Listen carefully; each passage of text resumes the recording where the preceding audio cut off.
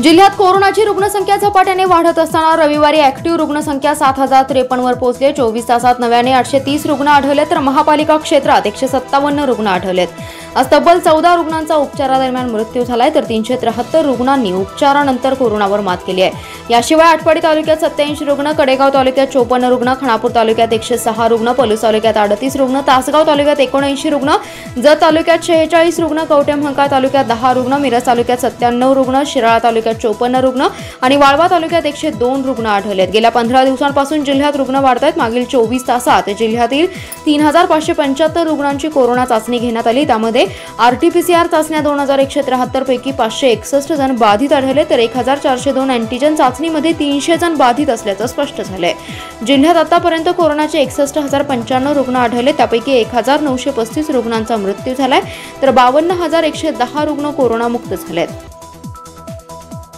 सांगलीत भाजी खरेदीसाठी होणारी गर्दी टाळण्यासाठी सांगली महापालिकेने छत्रपती शिवाजी महाराज पुतळ्यासमोरील भाजी मंडईतील होलसेलसह किरकोळ भाजी विक्री बंद करण्यात आली आहे. आयुक्त नितीन कापडणीस यांच्या आदेशाने हा परिसर पत्रे मारून सील करण्यात आला असून सोमवारपासून भागाभागात भाजी विक्रीसाठी परवानगी देण्यात आली आहे. तर कोल्हापूर रोडवरील विष्णू अण्णा फळ मार्केटमध्ये सोमवारपासून होलसेल भाजीचे सौदे होणार आहेत. रविवारीच शिवाजी मंडई परिसर सील करण्यात आला असून शेजारील भाजी मंडई सुद्धा कोरोनाचा संसर्ग रोखण्याच्या उद्देशाने बंद करण्यात आली आहे. येथील विक्रेत्यांना आजूबाजूच्या मोकळ्या जागांवर भाजी विक्रीसाठी परवानगी देण्यात आली आहे. यामुळे भाजी मंडईमध्ये भाजीसाठी होणारी गर्दी आता टाळता येणार आहे. आज महापालिका आयुक्त नितीन कापडणीस यांच्या आदेशाने उपायुक्त राहुल रोकडे यांच्या पथकाने मंडई परिसरात येणाऱ्या सर्व मार्गावर पत्रे मारून तो परिसर सील केलाय.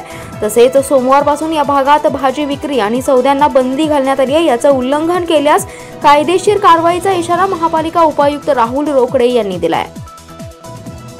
जत शहरातील एक वृद्ध महिला काही दिवसांपूर्वी आजारी होती. त्यांना जत शहरातील शासकीय रुग्णालयात उपचारासाठी दाखल केलं.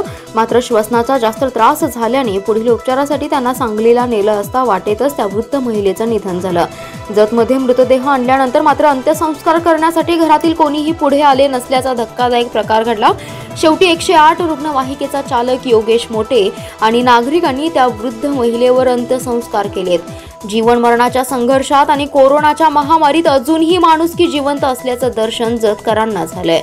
जत शहरातील एक वृद्ध महिला काही दिवसांपूर्वी आजारी होती. त्यांना जतच्या सरकारी रुग्णालयात दाखल करण्यात आलं होतं. पण त्यांना त्रास होऊ लागल्याने पुढील उपचारासाठी सांगलीला हलवण्याचा निर्णय घेण्यात आला.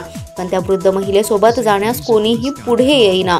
पण चालताही न येणाऱ्या पतीने अखेर रुग्णवाहिकेत पत्नीसोबत जाण्याचा निर्णय घेतला.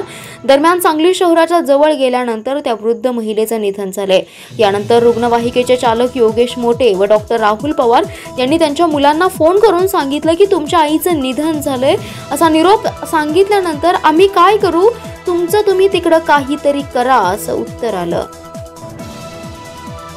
पालकमंत्री जयंतराव पाटील व सांगलीचे जिल्हाधिकारी डॉक्टर अभिजित चौधरी यांनी केलेली विनंती व विटा परिसरात दररोज गतीने वाढणारी रुग्णसंख्या पाहता माजी आमदार सदाशिवराव पाटील यांनी नगर परिषद काउन्सिल व प्रशासनास तातडीने हॉस्पिटल सुरू करण्याची सूचना केली.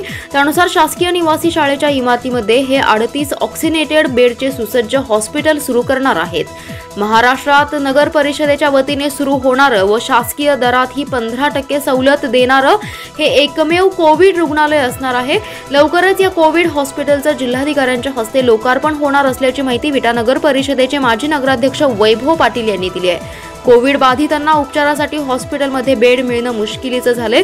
या पार्श्वभूमीवर सांगली जिल्ह्याचे पालकमंत्री जयंतराव पाटील आणि जिल्हाधिकारी अभिजित चौधरी यांनी माजी आमदार सदाशिवराव पाटील व विटा नगर परिषदेचे मुख्याधिकारी अतुल पाटील यांना विटा नगर परिषदेने तातडीने कोविड हॉस्पिटलची उभारणी करावी अशी आग्रही विनंती केली होती. सारी दुनिया का बोल हम उठाते हे. कुली चित्रपटाच्या गाण्याच्या उक्तीप्रमाणेच मिरज रेल्वे स्टेशनवरील हमाल रोज येणाऱ्या रेल्वे प्रवाशांची ओझी डोक्यावरून घेऊन आपली रोजी रोटी कमवत होते. मिरज रेल्वे जंक्शनमधून अनेक गाड्या देशभरात जातात परंतु कोरोनाच्या प्रादुर्भावामुळे अनेक गाड्याच रद्द झाल्याने दिवसातून दोन ते तीन गाड्याच धावत आहेत. त्यातही प्रवाशांची संख्या हातावर मोजणे इतके त्यामुळे रेल्वे स्टेशनमधील हमालीचे काम करणाऱ्यांवर बेकारीची कुऱ्हाड कोसळली आहे. सर्व रेल्वे गाड्या सुरू असताना समाधान समाधानकारक पैसे मिळत होते परंतु अनेक हमाल आता दुसरा उद्योग करत असल्याचं चित्र दिसतंय. रेठरे धरण गावाच्या दक्षिणेला असलेल्या माळावर रामचंद्र सर्जेराव समिंद्रे व कृष्णांत सर्जेराव समिंद्रे यांच्या छप्पर व गवताच्या गंजीत दुपारी एकच्या सुमारास आग लागून पाच जनावरे गंभीर भाजलेत. यामध्ये एक म्हैस एक रेडी आणि नऊ महिने गाभण असलेल्या गायीचा होरपळून मृत्यू झालाय. या आगीमध्ये सुमारे तीन लाख रुपयांचं नुकसान झालंय. रामचंद्र सर्जेराव समिंद्रे व कृष्णान सर्जेराव समिंद्रे यांचं डोंगर पायथ्याशी शेतजमीन आणि जनावरांची वस्ती असून दुपारी साडेबारा वाजता घरातील लोक वस्तीवरील कामे उरकून घरी गावात गेली होती. दुपारी दोन वाजण्याच्या सुमारास या वस्तीवरून त्यांच्या छप्पर आणि गवताच्या गंजीस आग लागली असल्याचं त्यांना समजलं. हे अंतर गावापासून सुमारे एक ते दीड किलोमीटर असून त्या ठिकाणी समिंद्रे कुटुंबातील सदस्य आणि काही युवकांनी धाव घेतली. तोपर्यंत वस्तीवरील छप्पर आणि दोन गवताच्या गंजा जळण जळून खाक झालं होतं. येथील अमर तरुण गणेश मंडळातील युवक आणि ग्रामस्थांनी आग आटोक्यात आणण्याचा प्रयत्न केला परंतु त्याचा काही उपयोग झाला नाही. आगीच्या ज्वालामुळे जास्त प्रमाणात भाजल्यामुळे रामचंद्र समिंद्रे यांच्या मालकीची नऊ महिने गाभण असलेली एक म्हैस एक रेडी आणि एक गाय या आगीत मृत्युमुखी पडली आहे. राष्ट्रीय आम जनसेवा पार्टीचे अजित एन तडवी यांच्या आदेशानुसार सांगलीतील सुंदरनगर वेश्या वस्तीमधील वारांगाना महिलांना मोफत भोजन वाटप करण्यात आलं. यावेळी महाराष्ट्र उपाध्यक्ष टिपूभाई पटवेगर पश्चिम महाराष्ट्र युवा अध्यक्ष श्रीशैल पाटील पश्चिम महाराष्ट्र अध्यक्ष तोफिक जमादार सांगली जिल्हा अध्यक्ष फैयाज मुजावर सांगली उपजिल्हाध्यक्ष समद पिरजादे सांगली जिल्हा युवा अध्यक्ष संतोष शिंदे सुंदरनगरच्या शोभा केंगार सोफिन शेख राधा हातलगी गोदा भोसनावर आदी जण उपस्थित होते. यावेळी या महिलांसाठी जेवणाची मदत केल्याबद्दल सामाजिक कार्यकर्ते दीपक चव्हाण यांनी सर्वांचा आभार मानला. तसेच सुंदरनगरमधील वारांगणा महिलांचा व्यवसाय पूर्ण ठप्प असल्याने या महिलांवर उपासमारीची वेळ आली आहे. त्यामुळे सांगलीतील सामाजिक संस्था एनजीओ तसेच दानशुरांनी या महिलांसाठी मदत करावी असं आवाहन आणि विनंती दीपक चव्हाण यांनी यावेळी केली आहे. सांगलीतल्या धामणी रोडवरील जुना नाका या ठिकाणी ट्रक चालक पत्ता विचारत असताना दोघांनी त्याला पत्ता सांगून त्या मोबदल्यात पैशांची मागणी करत धमकावले. या प्रकरणी ट्रक चालक बसवेश्वर सुरेश कांबळे यांनी शहर पोलिसात फिर्याद दिली आहे. त्यांच्या फिर्यादीवरून पोलिसांनी शिवाजी बापू खांडेकर आणि पांडुरंग श्रीरंग शेजाळ या दोघांविरोधात खंडणीचा गुन्हा दाखल केलाय.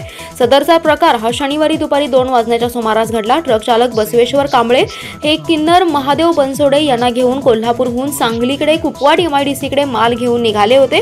शनिवारी दुपारी दोन वाजण्याच्या सुमारास धामणी रोडवरील जुना जकात नाका या ठिकाणी ते आले. त्या ठिकाणी आल्यानंतर त्यांना कुपवाड एमआयडीसीकडे जाण्याचा रस्ता माहीत नसल्याने चालक कांबळे यांनी त्या ठिकाणी थांबलेल्या संशयित शिवाजी खांडेकर आणि पांडुरंग शेजाळ यांना पत्ता विचारला. दोघांनी पत्ता वाचला त्यानंतर सदर मालाची वारणी म्हणून आम्हाला चारशे नव्वद रुपये दे पैसे दिल्याशिवाय तुझा ट्रक आम्ही जाऊ देणार नाही असं म्हणत वाद घालू लागले. त्यानंतर कांबळे यांनी पैसे देण्यास नकार दिला आणि थेट सांगली शहर पोलीस ठाण्यात धाव घेत फिर्याद दाखल केली आहे. त्यांच्या फिर्यादीवरून पोलिसांनी संशयित खांडेकर आणि शेजाळ यांच्या विरोधात खंडणीचा गुन्हा दाखल केलाय.